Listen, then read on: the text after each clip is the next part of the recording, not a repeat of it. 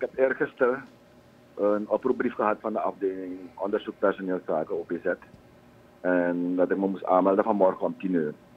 Ehm, op dat oproep, oproepbriefje eh, was niet aangegeven eh, waarvoor ik eh, verhoord zou worden. Maar ik had natuurlijk wel mijn vermoedens.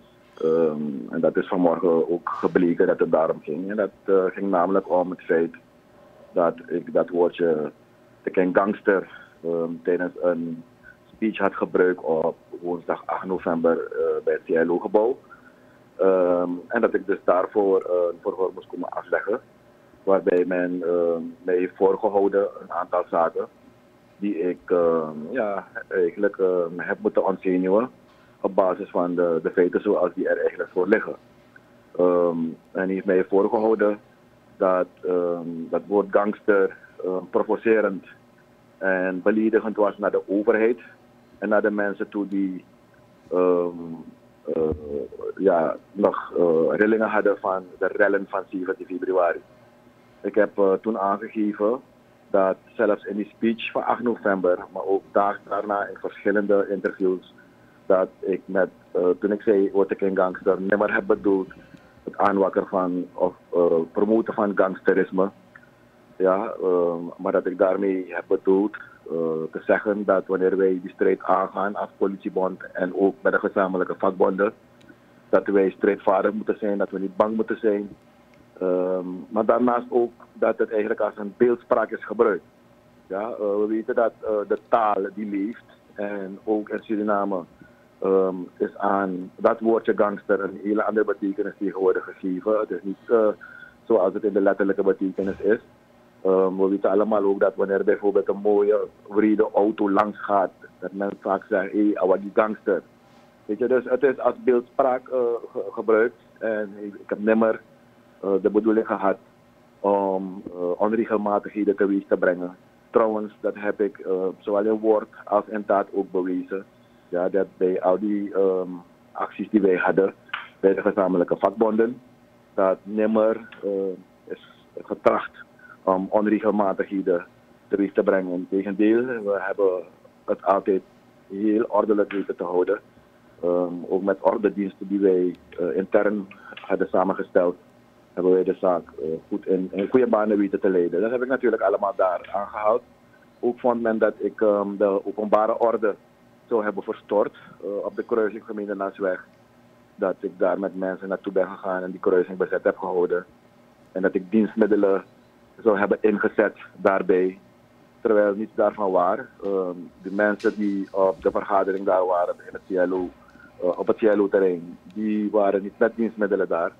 De politievoertuigen en de motorfietsen die daar waren, zijn mensen die aan het werk waren en die er naartoe waren gedirigeerd eh, voor werkzaamheden.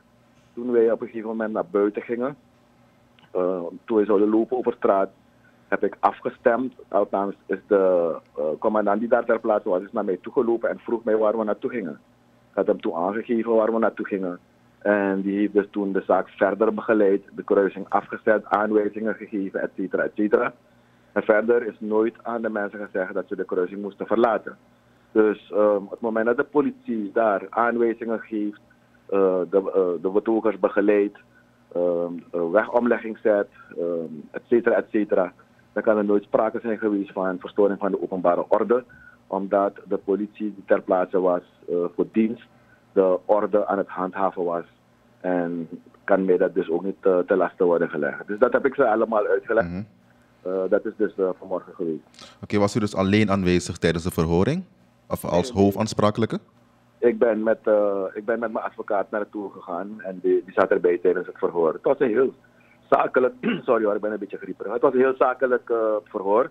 Ehm, heel gemoedelijk, geen eh, spanning of wat dan ook hoor. Ehm, ik, heb antwoord gegeven op de vragen, het is vastgelegd. De advocaat eh, die zat erbij. Eh, ik heb het verhoor gelezen. En het is woordelijk zoals ik het heb gezegd, opgenomen en ik heb het ondertekend. En ik ben als eh, persoon verhoord, niet als verdachte. Oké, mooi. En kreeg u het al het gevoel alsof er naar u geluisterd werd? Of men wel begreep van waar u kwam? Nou, het zijn ehm, eh, politieambtenaren die daar zitten bij OPZ en die dus uh, kennelijk een opdracht van het bevoegd gezag, maar dat hebben ze aangegeven, dat zij dit moesten doen. de, de vragen die daar werden gesteld uh, zijn de vragen die zij moesten onderzoeken. Um, dus het gaat niet om het, of je nou, dat je kan gaan zeggen van, van allemaal werd geluisterd. Um, er wordt een vraag gesteld, ik geef antwoord, er wordt een volgende vraag gesteld. En zo gaat dat bij een verhoor. En wat zijn dan de vervolgstappen? Zijn er sancties aan verbonden of gaat er een onderzoek starten? Nou, um, ja, ik, ik, ik, um, ik heb wel het gevoel dat ze het niet zo gaan willen laten.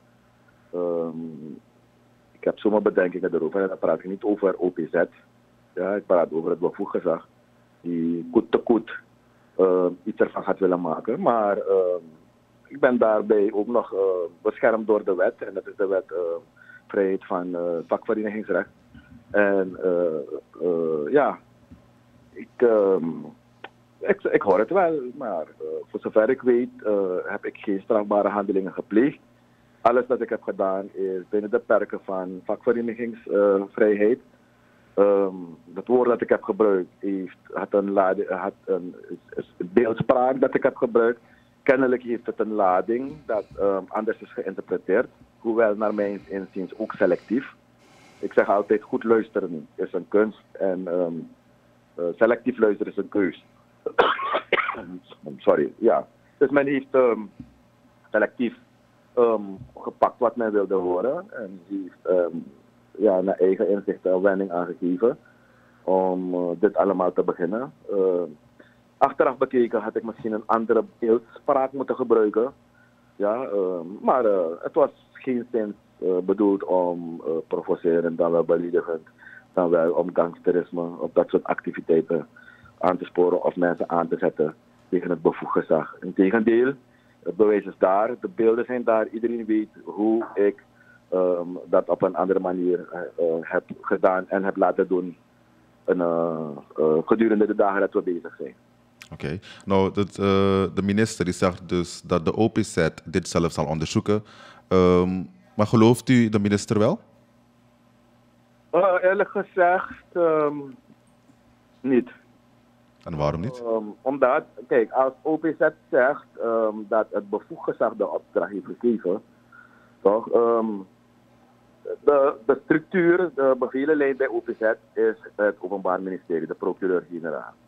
Wanneer er een, feiten en omstandigheden zijn die iemand tot verdachte maken, uh, op basis van artikel 19 van het wetboek van strafvordering, dan is het de PG die dan uh, opdrachten geeft aan het OM. In dit geval is er geen sprake van een benadeelde of een aangever, waardoor het OM geen een, uh, uh, opdracht heeft gegeven. Als we verder kijken naar het politiehandvest, dan zien we dat we verstaan onder het bevoegd gezag ten eerste de minister van Justitie en Politie, en die is belast met de algemene leiding. Dus ik ga ervan uit dat wanneer het, uh, het, het, de mensen bij OPZ mij zeggen dat het bevoegd gezag de opdracht heeft gegeven, en dat, maar dat OM, de procureur-generaal, daar niets van weet, dus geen opdracht heeft gegeven, dan rest niet anders dan um, de conclusie te trekken dat het van de minister van Justitie en Politie komt. Oké, nou en tenslotte meneer Eijk, staat u nog achter uw uitspraak zoals u dat bedoelde? Zoals ik het bedoelde wel, ja. Ik heb gezegd dat ik daarmee bedoel dat we niet bang moeten zijn. In abdicate moet strijdvaardig zijn. Als het is dat uh, men valt over een woordkeus, dan kan ik wel zeggen. Als het nodig is dat ik dat woord terugtrek en het anders zeg. Maar ik blijf erachter. De bedoeling was strijdvaardig zijn, niet bang zijn. In abdicati, je moet terugkomen om die acties te voeren. Als ik, dat, uh, als ik daar nog steeds achter sta, ja. Maar als het zo moet zijn dat ik dat woord misschien, die beeldspraak, laat me niet zeggen dat woord. Als ik een andere beeldspraak zou moeten gebruiken, dan kan ik het overwegen om dat wel te doen. Nou, alsnog bedankt meneer Rijk. Ja, alsjeblieft. Dat was dus uh, de secretaris van de Surinaamse Politiebond. Dankjewel.